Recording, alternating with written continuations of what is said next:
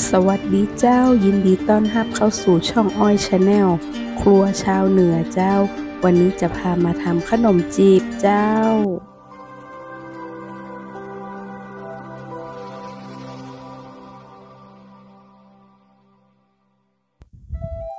มาลงมือทำกันเลยเจ้า ขั้นแรกเราก็มาทำสามเกลือกันก่อนนะเจ้า ก็มี รากผักชีนะเจ้า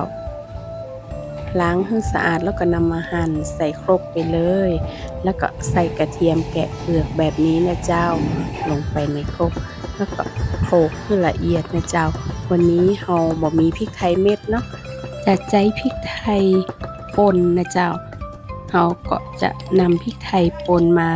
ผสมที่หลังนะเจ้าต่ำสองอย่างนี้ลงไปก่อนพอเสร็จเรียบร้อยแบบนี้ก็ใส่ไปในหมูเลยเจ้า แล้วก็มาใส่พริกไทยจากอันนี้มันเป็นพริกไทยร้อยเปอร์เซ็นต์นะจะเป็นพริกไทยที่เปิ้นป่นมาเรียบร้อยแล้วจากโรงงานเนาะใส่ลงไปเลยค่ะ พอประมาณ แล้วแต่ชอบนะจะชอบเผ็ดนักฮ้อนคอดีก็ใส่เยอะหน่อย ส่วนผสมและรายละเอียดจะอยู่ตรงคำอธิบายใต้คลิปนะเจ้า แล้วก็ใส่ซอสปรุงรสนะเจ้า อันนี้เป็นซอสที่เราทำไว้นะมี น้ำมันหอยซีอิ๊วขาวนะเจ้าเตรียมผสมไว้ในซอสอันนี้เรียบร้อยแล้วนะเจ้าแล้วก็คลุกเคล้าให้เข้ากันเนาะใส่ไข่ลงไปหนึ่งฟองนะเจ้าไข่ก็จะช่วยประสานคือหมูของเฮาได้นุ่มแล้วก็เหนียวหนึบขึ้นแถมหน่อยนะเจ้า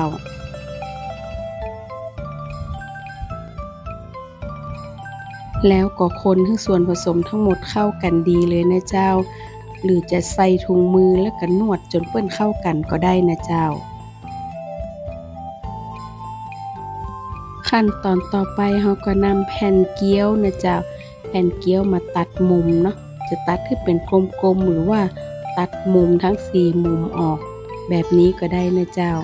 ถ้าใครมีความสามารถตัดให้เป็นวงกลมหรือจะเอา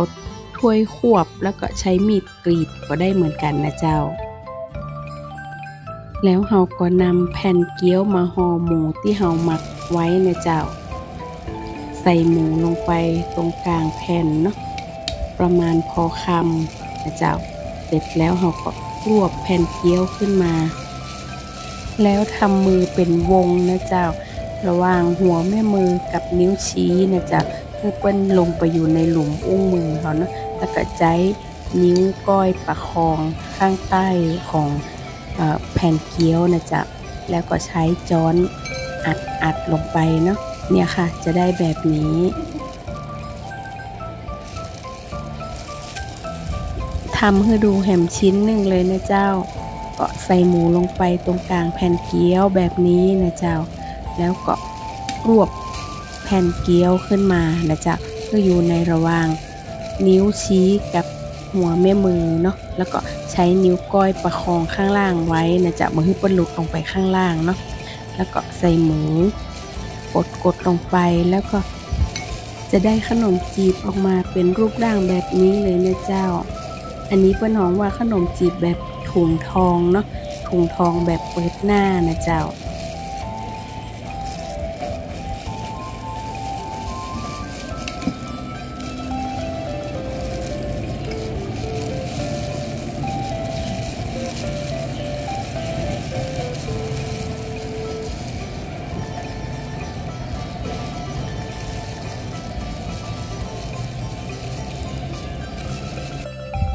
ขั้นตอนต่อไปเราจะเอาไปนึ่งแล้วนะเจ้า ระหว่างนี้เราก็ไปตั้งลังถึงใส่น้ำไว้เนาะ แล้วก็เปิดแก๊สให้เปิ้นเดือดรอไว้เลย เสร็จแล้วเราก็เอาใบตองมาเช็ด แล้วก็ฉีกให้เปิ้นเพื่อที่จะเป็นที่ระบาย ไอน้ำขึ้นมาข้างบนนะเจ้า แล้วก็วางลงไปในรังถึง เพื่อป้องกันบ่ให้ขนมจีบติดรังถึงนะเจ้า แล้วเราก็จะสเปรย์น้ำมันลงไปใน ลังถึงที่รองด้วยใบตองนะเจ้า แล้วก็ใช้มือรูปรูปรูปเพียงน้อยเนาะแล้วก็จับขนมจีบเรียงลงไปเลยนะเจ้า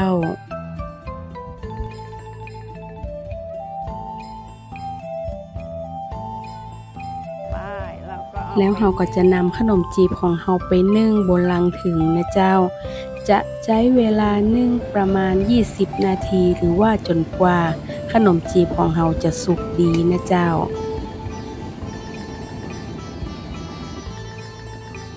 พอครบ 20 นาทีแล้วเราก็มา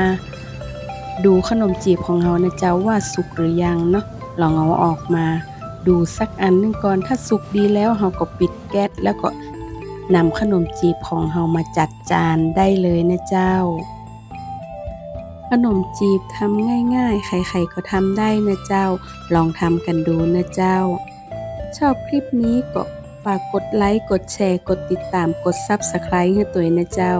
อ้อและอย่าลืมสั่นกระดิ่งให้ตัวนะเจ้า เพื่อจะบ่พลาด ในการชมคลิปแผ่มต่อไปเจ้า ขนมจีบของเราก็พร้อมชิมแล้วนะเจ้า เอามาจิ้มขนมจีบของเราดีกว่าเนาะ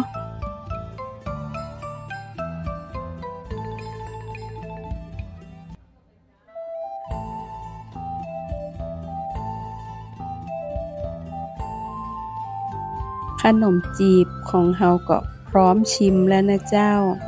จิ้มขนมจีบนุ่มๆ มาชิมกับซอสเปรี้ยวหวานของเฮานะเจ้าลำแต่แต่เจ้าสำหรับวันนี้ขอลาไปก่อน สวัสดีเจ้า